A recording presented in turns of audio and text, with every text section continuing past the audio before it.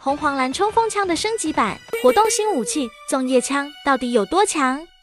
新活动武器粽叶枪获取方式很简单，在端午节活动中找到粽老爹互动，再花费十个粽叶兑换，最后在射击台打造即可解锁。粽叶枪详细解读：粽叶枪蓝色品质，攻击三点，蓝耗一点，暴击零点，偏移五点。就属性来看，粽叶枪暴击率过低，会导致元素效果难以触发。理论上实用性不如红黄蓝冲锋枪自带的二十暴击。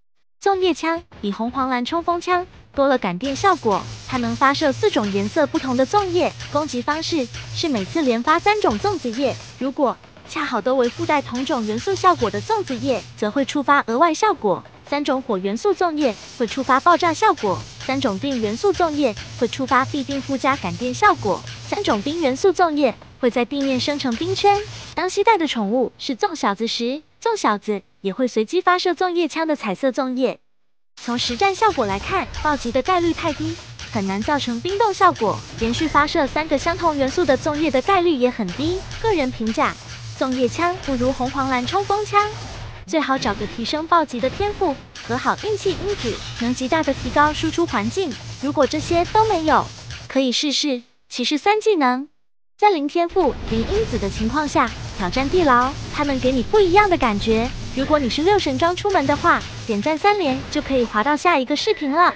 哦，假如满分十分，观众老爷们会给粽叶枪打几分？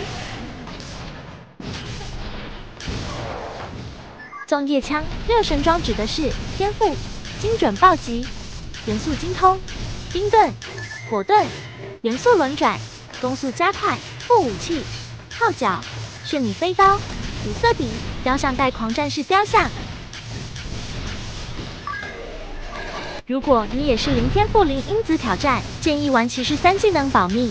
如果你准备六神装挑战，可以玩死灵法师、狂战士、刺客。